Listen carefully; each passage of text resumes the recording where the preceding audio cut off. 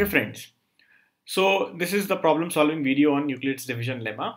So let us see the, the problem here. It says show that n square minus 1 is divisible by 8 if n is an odd positive integer. So in such cases, first of all, let us understand what should be the approach. Approach should be first, first step is, step is read the question very carefully. This is one step where students tend to ignore uh, and they in the hurry of solving the problems they actually make a lot of silly mistakes. So what, what is that? Read the question. Question thoroughly. Question thoroughly. How do we do this? And this is you know uh, this particular uh, uh, approach should be adopted in every problem solving thing you do right? So how do i do?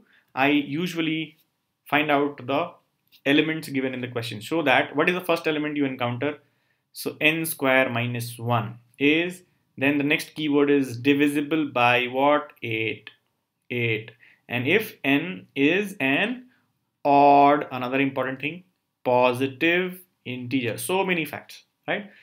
So n is an odd positive integer. The moment i hear the word odd first thing which strikes my mind is if if a is odd if a is odd then if a is odd then it can be expressed as either or only 2k plus 1 right? Why? Because 2k will be an even number. So a is of the form 2k plus 1 but whether this particular concept will help me or not that depends on once we go to the next step. Next step is now try and understand what all underlying concepts will be used. So you have to prove that something is divisible by 8 when is something divisible by something some number is divisible by 8 some number is divisible by 8 when if we divide it your remainder is 0 the remainder is 0 so you can you can see that 8 8 or you have to prove that 8 is a factor of a factor of a factor of n square minus 1 n square minus 1 this is what you have to establish.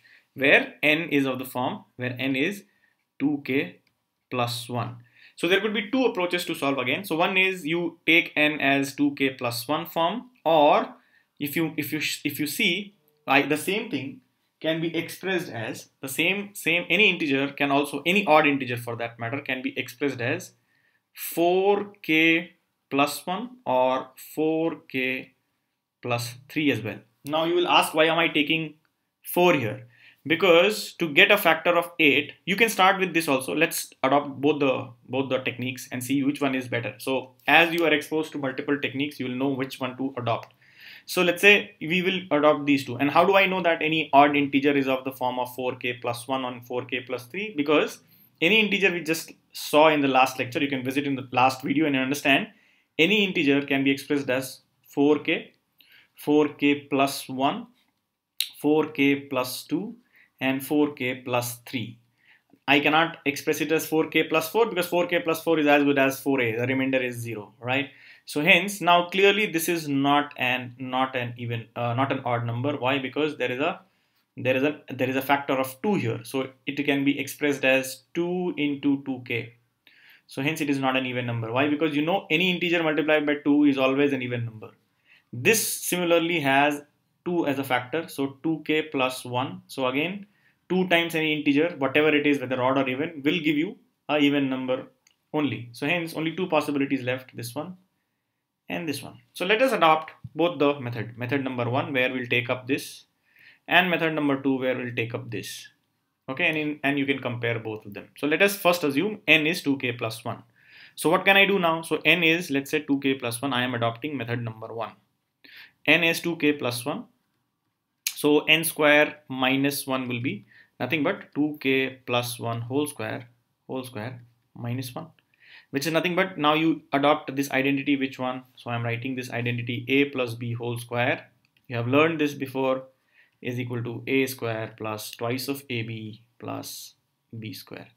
So using this let us expand this. So hence what will you get? You will get 2k square plus 2 times 2k times 1 plus 1 square. This dot represents a multiplication sign. Don't get confused as a decimal sign here.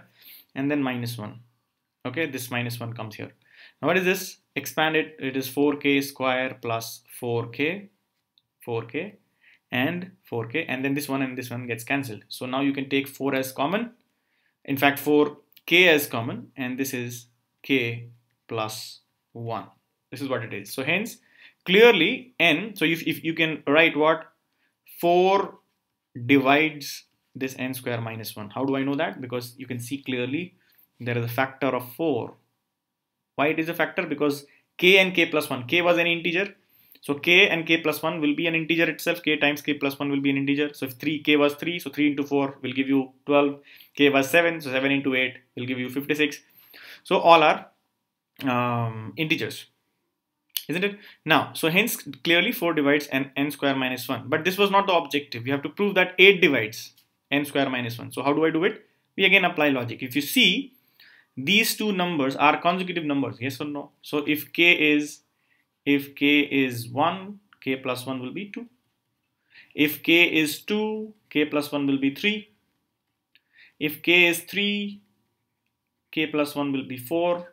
So they are always two consecutive numbers. If you see, and this is the logic you'll apply, what will you write? You'll write k and k plus 1 are consecutive consecutive integers. And in, in this case we are talking about positive integers because the question asks so.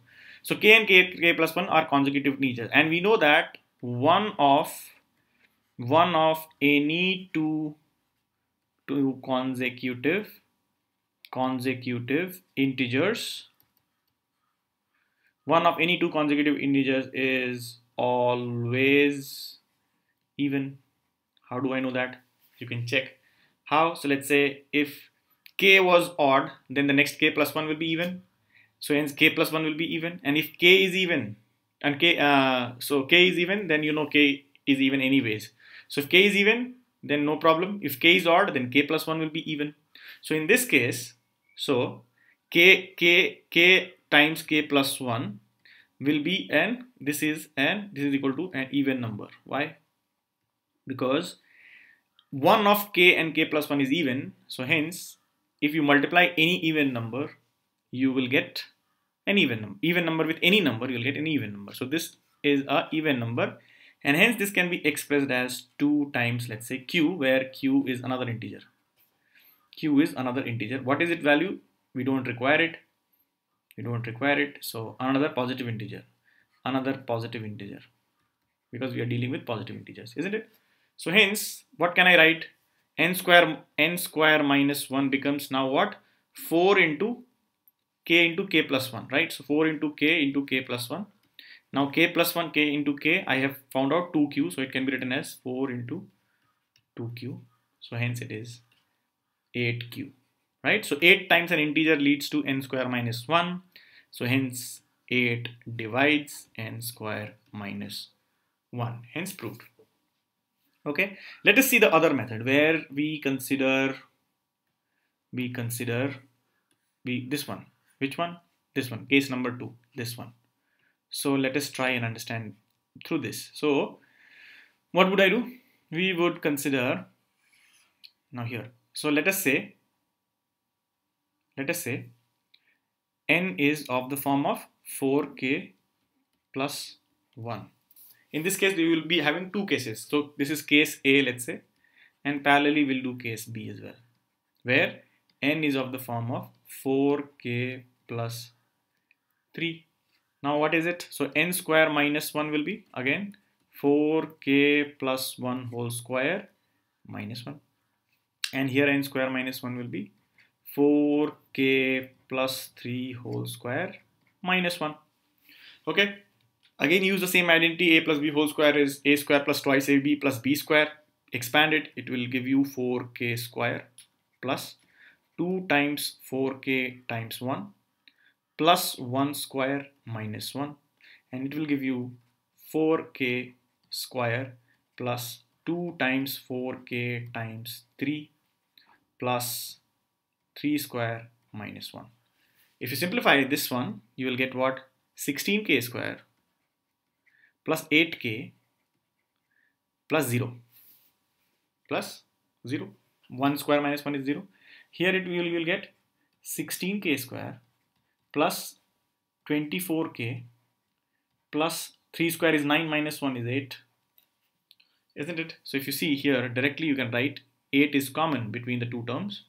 So it is 2k square n plus uh, k I'm not interested in pulling out k because I'm interested in showing that 8 is a factor. So you can see this item 2k square plus 1 k is an integer is an integer. Why? Because you have k as an integer so k square will be an integer and twice of k square will be an integer. So 2k square plus k is an integer so hence we can clearly say 8 divides n square minus 1 here again take 8 common so 8 is common again. So you can write it as 2k square plus 3k plus 1 again this this item this is an integer is an integer. Why? Because k is an integer k is an integer and hence 2k square plus 3k plus 1 has to be an integer. So in both the cases i see that 8 divides what? N square minus 1 hence proved okay so what is the learning? You have to in such number theory questions or you know uh, what you need to do is you can you have to express uh, the divisor in the form of or any number the number which is in in uh, question in the form of 2k uh, plus 1 and minus 1 or 4 uh, sorry 2k plus 1 or 4k plus 1 and 4k plus 3 and then build your case and by mathematical manipulation mathematical simplification we got to know that. We got to, we got to see that. 8 was indeed a factor and that was the objective. If you see we set this objective right? So we somehow will prove that 8 is a factor here. So here 8 is a factor of n square 1 n square minus 1 so we, we see we saw that in all cases 8 is a factor of n square minus 1 so you have to take care of what? Number of possibilities. And each of the possibilities you'll have to show that yes um, whatever is being asked for is valid so I hope you understood this question. So uh, uh, let us take another problem to uh, solve or to understand Euclid's division lemma application further more. Thanks a lot.